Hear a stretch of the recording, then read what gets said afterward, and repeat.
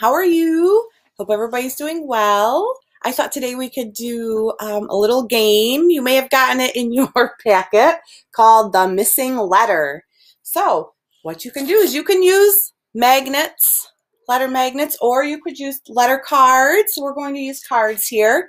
So, first, I'm just going to start out with four letters. Put them down. I have A, B, C, D. All right, Mitchie, close your eyes. I'm going to take one away. All right, ready? I'm going to take one away. Now, open them up. What one did I take away? C. C. He was right.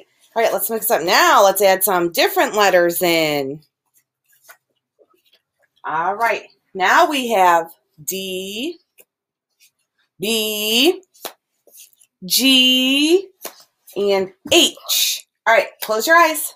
I'm going to take one away. All right, now look, which one did I take away? D. D. Good. This helps us helps us focus on what we're doing, helps us with our memory, remembering. Oh, fun. So this would be a fun game. You could make it, you could start out with just three letters or even just two letters and then make it trickier and add more. You could do the letters in your name, practice with your name, and take one away. You could also do this with numbers. Let's see. Let's put out some numbers. One, three, four, two. All right, close your eyes. I'll take one away. All right, what one did I take away?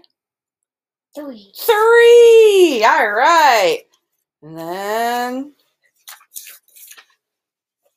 let me see. I'll put a couple more on.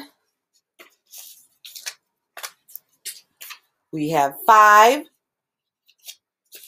nine, four, whoops, six. All right, close your eyes. Well, let's see. What one did I take away? Open them up.